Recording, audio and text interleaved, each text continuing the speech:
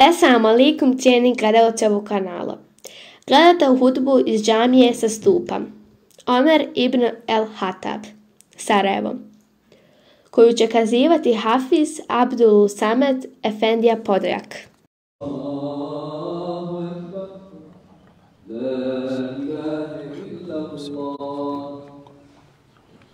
الحمد لله الحمد لله خالق الوجود من العدم وجاعل النور من الظلم ومخرج الصبر من الألم فملقي التوبة على الندم فنشكره على المصائب كما نشكره على النعم ونصلي على رسوله الأكرم ذي الشرف الأشم والنور الأتم والكتاب المحكم وكمال النبيين والخاتم سيد الولد آدم الذي بشر به عيسى بن مريم ودعا لبعثته إبراهيم عليه السلام حين كان يرفع قواعد بيت الله المحرم.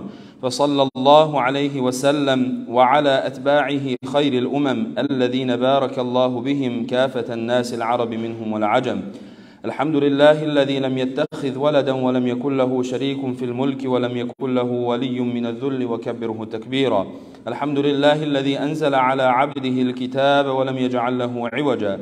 والحمد لله الذي نحمده ونستعينه ونستغفره ونؤمن به ونتوكل عليه ونعوذ بالله تعالى من شرور أنفسنا ومن سيئات أعمالنا من يهده الله فلا مضل له ومن يضلل فلن تجد له وليا مرشدا وأشهد أن لا إله إلا الله وحده لا شريك له وأشهد أن محمدا عبد الله ورسوله أرسله ربه بالهدى ودين الحق ليظهره على الدين كله وكفى بالله شهيدا.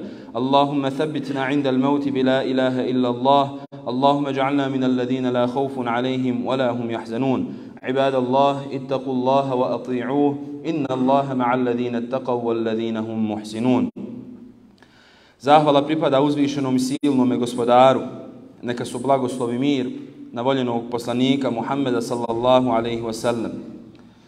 Kur'an je nadnaravan govor, govor Allaha uzvišenog, koji nas uči, odgaja i pokazuje nam krucijalne životne lekcije. Kur'an govori i o Ademu salam, prvom čovjeku i poslaniku, njegovom stvaranju te dijelu njegovog života. Kada ga je stvorio, Allah Želešanuhu je naredio melekima da mu seždu učini. Meleki su bez pogovora učinili Božju naredbu, no Iblis odbija. Gospodar uzvišeni mu ukazujući da nije imao pravo to uraditi, govori zbog čega si to uradio. Pa on iz oholosti svoje odgovara, ja sam bolji od njega. Iblis, neka je Allahovo prokletstvo na njega, je spoznao gospodara Allaha Đelešanuhu, međutim, zbog oholosti svoje prokletje za sva vremena. Kur'an nas uči da je suprotno od oholosti, ne poniznost i skromnost, kako mi to često mislimo, nego je u kuranskoj terminologiji suprotno od oholosti zahvalnost. Kada je Allah Želešanuhu protjerao Iblisa, Iblis traži dozvolu od Allaha Đelešanuhu da zavodi ljude. Allah Đelešanuhu mu to dozvoljava sve do sudnjeg dana, a Iblis, lanetullahi alejh, kaže vidjet ćeš da je malo od njih oni koji su zahvalni. Nakon toga Allah Đelešanuhu ga protjeruje iz dženneta. Ako u našem ponašanju, draga braću, riječima, u našim dijelima fali zahvalnosti, oholost će vrlo lahko zauzeti naše srce. Zapamtimo da šeitanova misija i njegov krajnji cilj nije da nas dovede do toga da grijeh učinimo. Jer nas poslanik Muhammed a.s. uči da je svaki sin Ademov griješnik, a najbolji griješnik je onaj koji se kaje. Svako od nas, svako od ljudi koje je Allah Đelešanuhu stvorio bez izuzetka, ima nedostataka.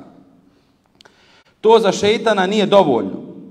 Njegova glavna misija je dovesti čovjeka u stanje nezahvalnosti Allahu Đalešanuhu.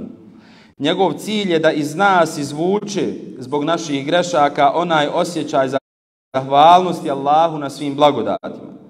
Kada imaš sve, a ne prepoznaješ te blagodati jer si nezahvalan. Na zahvalnosti i kroz zahvalnost Allahu Đalešanuhu mi trebamo prije svega graditi naš odnos sa našim gospodarom. Jer je to najjača i najsnažnija sila i osjećaj koji nas motiviraju da radimo nešto u ime Allaha Đalešanuhu. U suri Fatihi Allah Đalešanuhu nam objavljuje ajet koji nedvojbeno govori na najjasniji način da samo Allaha obožavamo i samo od njega pomoć tražimo. Kako sura Fatiha započinje? Započinje zahvalom Allahu, gospodaru svih svjetova. Alhamdulillahi rabbil alamin. Hvala Allahu, gospodaru svih svjetova. Kada izgubimo osjećaj zahvalnosti, tu šetan, šetanov posao završava. Jer se tada javlja osjećaj beznadežnosti, nezadovoljstva, gubimo osjećaj pravilnog rasuđivanja i djelovanja, gubitak volje za promjenom i radom, a posebno na sebi. Koliko god nam teško bilo zbog nekih stvari u prošlosti koje smo radili i činili, budimo zahvalni Allahu Đalešanuhu na onom trenutku kada nas je On iz svih tih grijeha i iskušenja izvadio i okrenuo ka njemu. Koliko god brinuli o našoj budućnosti, o nafaki koju Allah Želešanuhu daje, Allah je taj koji nas je do sada hranio, koji je brinuo o nama, koji nas je liječio, mislimo li da to neće i u budućnosti raditi posebno ako mu zahvalni budemo. A kuranska formula glasi la in šekertum la ezidennekum. Ako vi zahvalni budete, ja ću vam zasigurno to Allah Želešanhu obećava i pocrtava povećati u svemu onom što budete tražili. Stoga prestanimo, draga braćo, sa stalnim kukanjem i iščekivanjem da će se pojaviti kakav dobri kojeg će Allah Đelešanuhu poslati da riješi naše probleme, dok mi iskrštenih ruku čekamo ništa ne radići.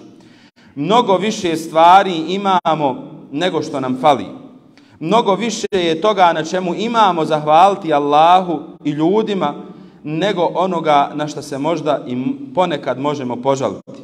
Budimo zahvalni Allahu Đelešanuhu na ovim okvirima koje zovemo država i konačno zajedno nikako drugačije smognimo snage da do kraja izgradimo pravedno i pravično društvo.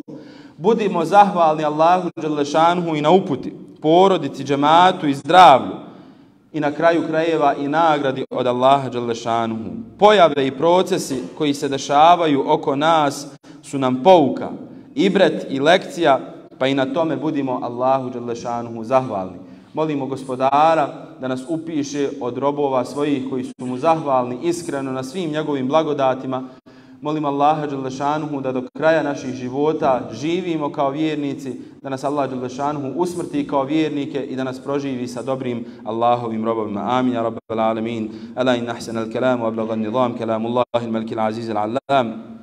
كما قال الله تبارك وتعالى في نظم الكلام وإذا قرئ القرآن فاستمعوا له وانصتوا لعلكم ترحمون أعوذ بالله من الشيطان الرجيم بسم الله الرحمن الرحيم إن الدين عند الله الإسلام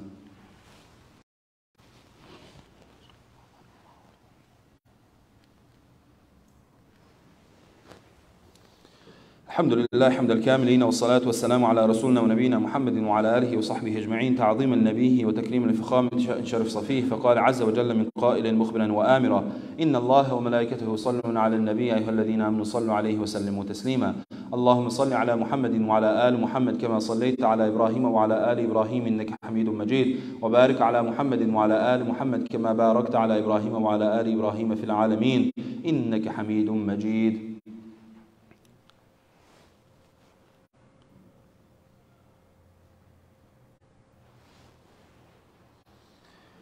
Poštovana braćo, prije kraja današnje hutbe, od jučer razmišljam o riječima koje je napisao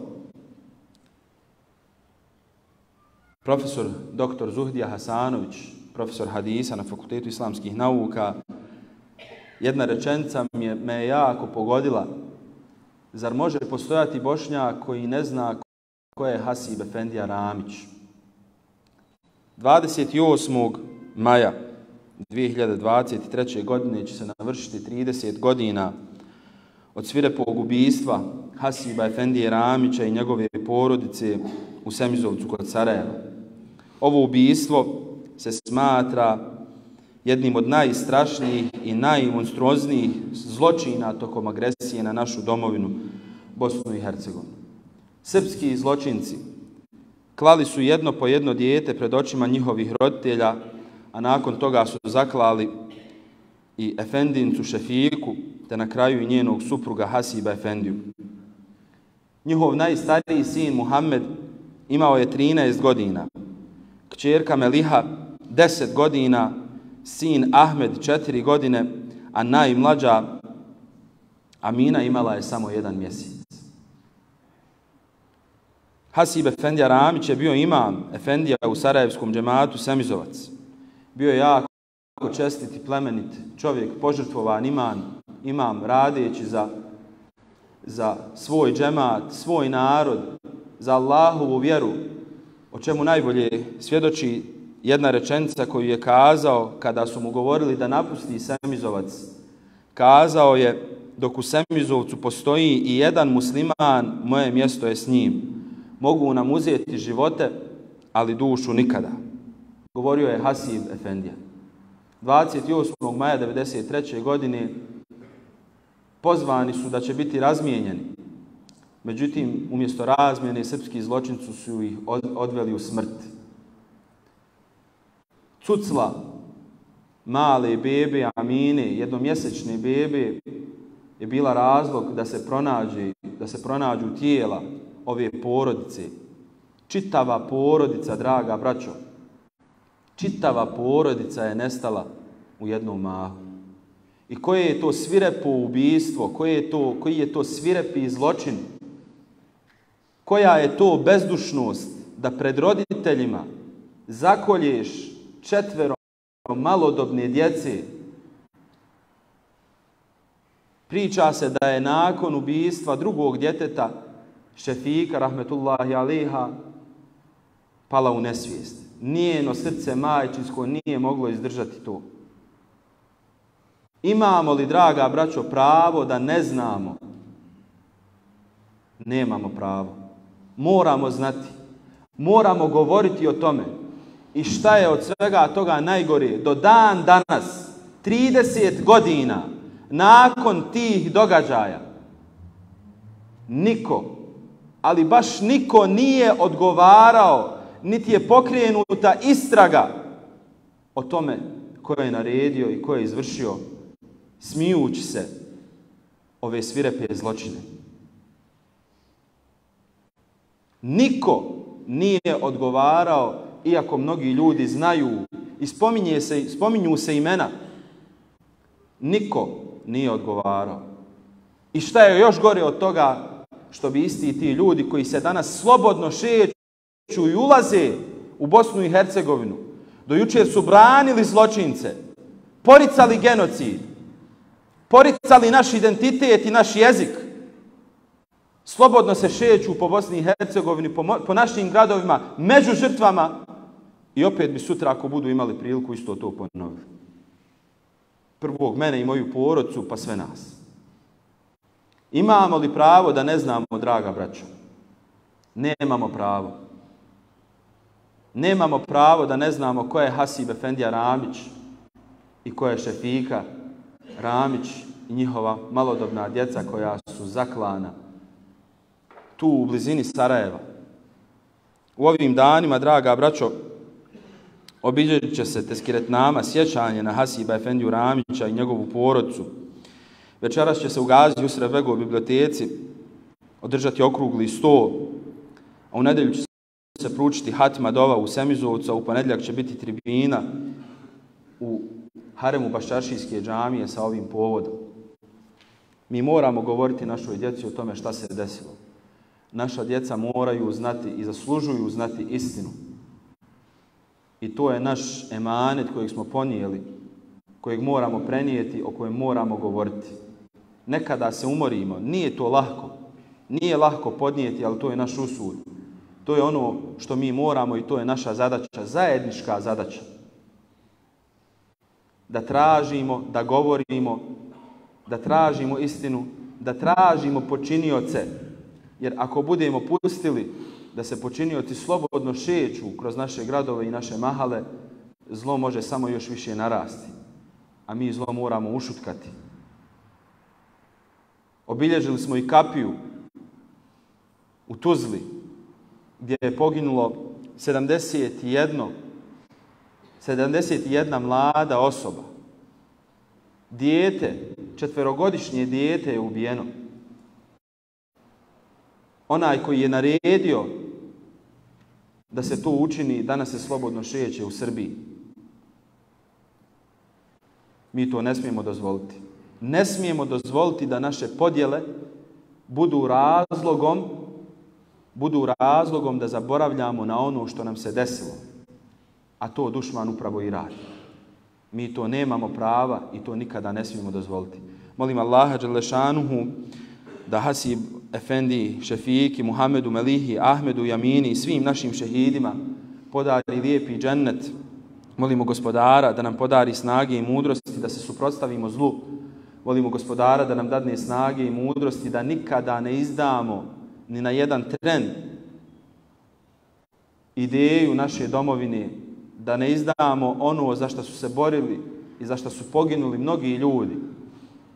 Oni koji su dali svoje živote najvrijednije za ovu domovinu, Molim gospodara da to nikada ne izdamo, niti da pomislimo da je to bila bezvrijedna i beznadežna borba. I te kako je to vrijedilo, a molim gospodara da mi to očuvamo i da to gradimo i da to prenesemo budućim generacijama. Amin, ya rabbal alamin.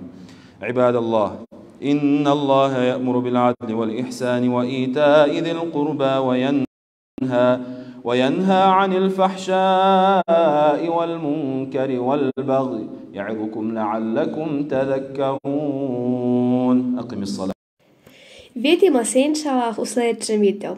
Assalamu alaikum wa rahmatullahi wa barakatuhu.